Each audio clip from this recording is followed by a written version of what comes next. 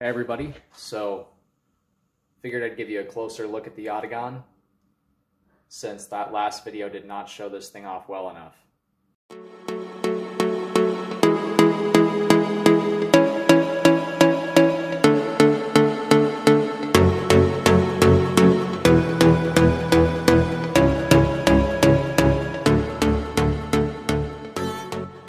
So with all the work I've put into this and the finish that I gave it, I've decided to name it Battlescar because it is, you know, a battle scarred finish and it's going to have a couple of embellishments in the guard, but this thing is, it's quite a beast. Um, it's going to be up on my shop once I get the engraving finished and get a couple more things done that I'm not going to talk about until the final finish is put on it. That'll be for the engraving video. So make sure you go and like, subscribe, all that stuff, so you don't miss out on future builds like this one.